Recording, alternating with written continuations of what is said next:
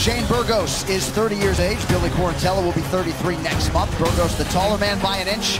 Both fighters coming in half a pound below the 146-pound featherweight limit. Billy Q, last four fights at the UFC Apex. Safe to say he's excited to have a capacity crowd at Madison Square Garden supporting him tonight. Fortune favors the brave is brought to you by Crypto.com, the fastest growing crypto platform in the world. Download now. Burgos in white, Quarantillo in blue. Oh! Good right hand over the top by Quarantillo and a couple of good uppercuts as well. And this is what Quarantillo wants to do. Quarantillo trains under UFC veteran Matt Arroyo. Dan Rawlings, his longtime Muay Thai coach. Burgos is so big for 145. It's hard to imagine that he actually makes the weight.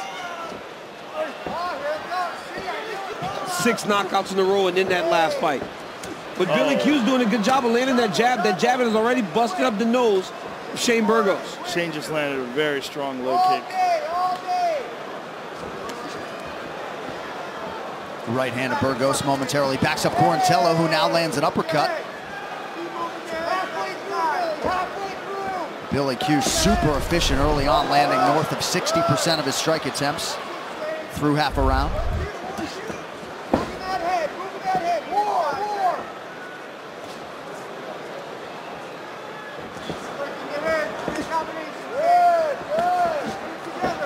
Burgos was number nine in the world, excuse me, Joe, going into that Barboza fight, now 14th. I was just going to say, there's quite a bit of blood coming out of the nose of Shane Burgos. It's that jab, man. The Billy Quarantillo, it's landing. He's popping. He's getting into the. He's getting it. Look at that. He's just. I mean, so much activity from Quarantillo. When you. Sorry, Joe. No worries. When you watch him technically, Joe, Burgos looks cleaner, but Quarantillo just keeps throwing and throwing and throwing. Oh, another jab from Quarantillo. The jab's very accurate, and they add up.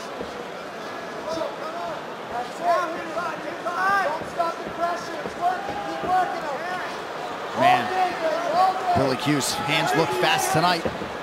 I'm sure Antonio Tarver likes what he's seeing. Ooh! Oh,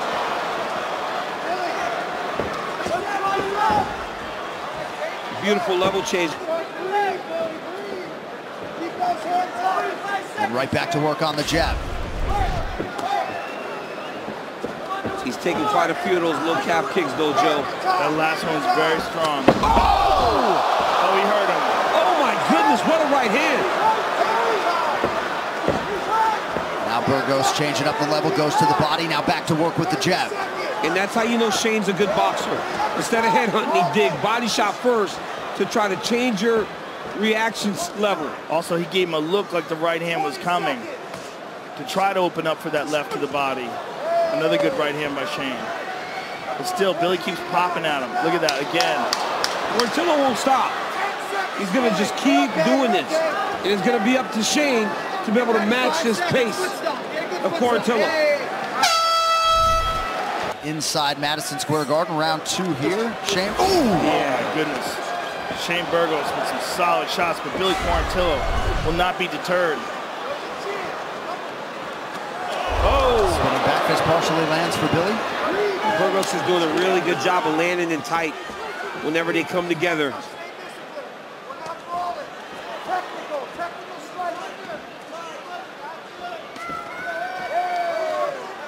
And you notice Burgos every now and again will try to dig that left hand right up under the elbow of Billy Quarantillo.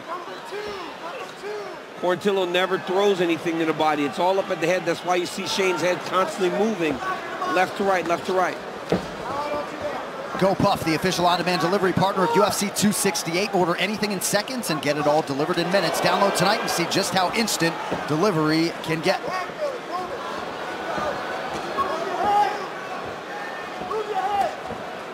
Nicely timed inside leg kick is there for Burgos. that jab.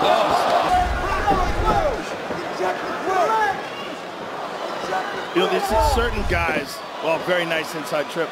This of them Yep, just seem to have right. a natural cart. Cain Velasquez, another one. They just have a weird natural advantage, just like some folks have a natural advantage with power. But Shane's going, now Shane's going with him and he's landing a little bit more. But it's in those middle moments, whenever he's kind of trying to process, Quarantillo's just throwing. Yeah. And that's where he's building this strike advantage. And Shane's face is a mess right now. Another right, nice right hand by, oh, good inside kick. But just, you, you don't deter him. It's crazy. And Billy is absolutely relentless. Oh, good shots. Nice. Oh, beautiful. And an elbow as well by Shane.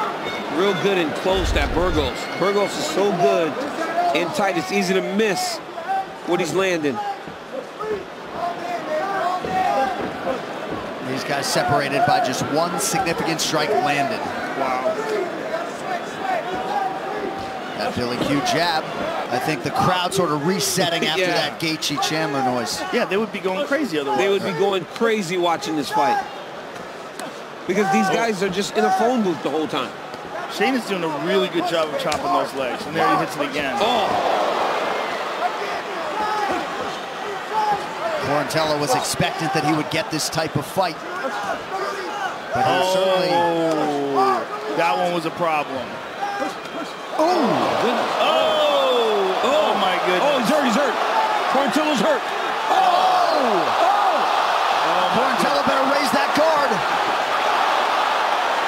Oh, Shane is teeing off. Oh my goodness.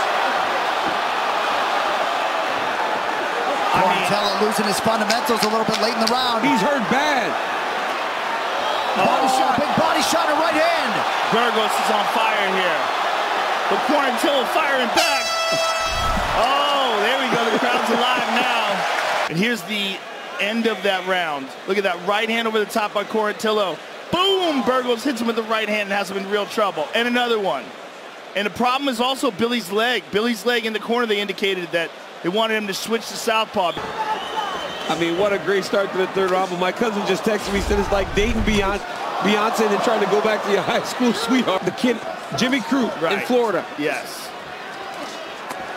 I mean, Cejudo had in the Mighty Mouse fight. Right hand is there for Oh, my Burgos. goodness. I mean, Billy is just, he's a one-legged fighter now. That leg's giving out, Joe. His corner told him to go southpaw. He, I don't think he can at this point. No, he's hurt. He's but look, he's a warrior. I mean, Shane is in a position to stop him with leg kicks if he just gets separation. It's hard to get separation though because the guy keeps going forward. He's like a zombie. Oh, nicely placed knee there by Burgos.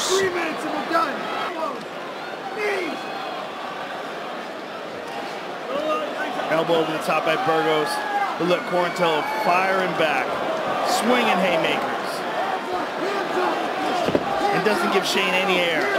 No room to breathe. Elbow over the top. Is when you're watching these fighters fighting close, clinching, grappling, all these short strikes that they take on Right. the inside. It truly is a, a war of attrition when you get close to someone like that.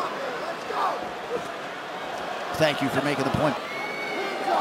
Burgos just has to get a couple leg kicks off on him and it can be done. The coaches are yelling, show your heart, and I'm telling you, you don't need to show any more. The dude has got tremendous heart. And by the way, Max Holloway, if you're out there, we know that record was for a three-round fight. Oh. Imagine you've landed more. Oh! Nice body shot in Yeah, there.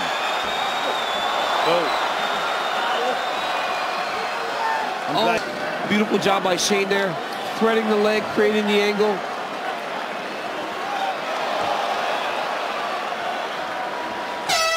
What a fight. What a fight. What a division, and if nothing else, Billy Quarantillo has proved he certainly can hang with the top 15 at 145 pounds. An absolute war turned in. Shane Burgos and Billy Quarantillo. We look back at some of the action.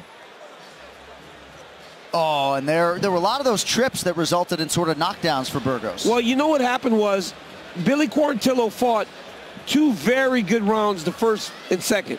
But by the end of the round, he got knocked down and he got hurt. And those rounds were swaying over to Burgos. But it showed you how tough Billy Quarantillo is by going into the third round, by initiating the pressure. But this was a tremendous fight. I mean, these guys threw I mean, 700 and something strikes between the two of them. They really went at it, and both guys win in this situation. Ladies and gentlemen, after three rounds, we go to the judges' scorecards for decision. All three judges score this contest 29-28 for the winner by unanimous decision, Hurricane!